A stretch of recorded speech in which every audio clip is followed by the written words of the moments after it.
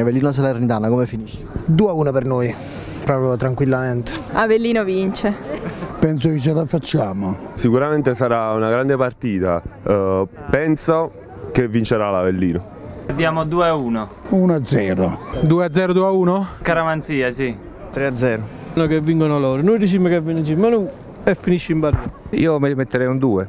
Tifo Napoli, questo è il mio pronostico. L'Avellino deve vincere a tutti i costi. 1-0. Per forza 1. Solo 1. Risultato finale 2-1. Sono un tifoso del Napoli e darei un X. Un pareggio. Un pareggio, perché amo tutte, tutte le squadre campane. Io mi metterei un 2. Dobbiamo vincere per 2-0 minimo, dobbiamo vincere, ci dobbiamo metterla tutta. A me se non concesso che ci potrebbe essere anche un 1, addirittura un X come diceva il collega, che ben venga. Saremo ovviamente allo stadio per dare un po' di supporto alla squadra. Ho letto che la curva è completa, spero almeno l'80% dello stadio pieno.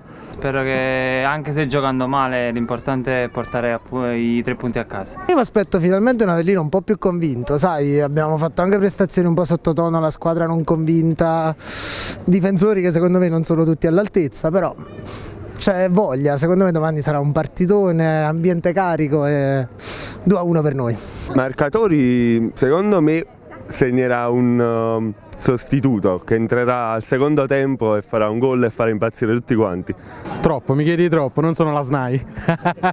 uh, verde. Se gioca Gigione Castaldo, Castaldo uno e Verde l'altro. Castaldo. Castaldo. Castaldo, sì, vado per Castaldo perché mia mamma fa di cognome Castaldo. Uh, Castaldo, Mogulu, Verde. A gennaio sicuramente voglio due difensori, di cui un centrale e un centrocampista di quelli seri, anche svincolato, vecchio, però che ne capisce di calcio. Eh?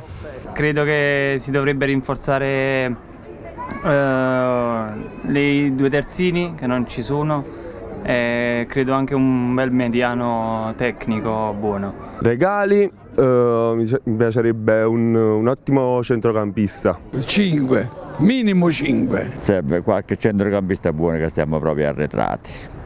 Eppure in difesa si fa acqua. Lo sapete bene, no? Ci vogliono 3-4 elementi. C'è da rivedere un po' in rosa, c'è da rivedere un po' di, di gente, però c'è da lavorare. Ci vogliono due centrocampisti perché non abbiamo centrocampo, non ne abbiamo.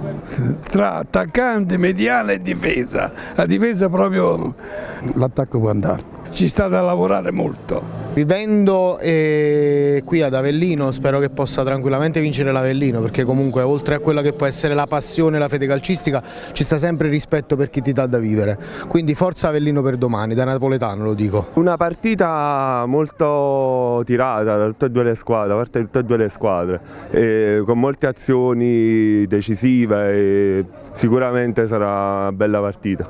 Ma, eh, speriamo sicuramente di vedere una partita interessante nella speranza di una vittoria prenatalizia per ripartire dal 2016 e entrare bene nel 2017.